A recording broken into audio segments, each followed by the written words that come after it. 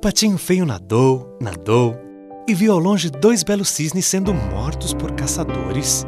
Perto dali, um lobo revirava o lixo até que uma doce menina e sua vovozinha o mataram a tiros.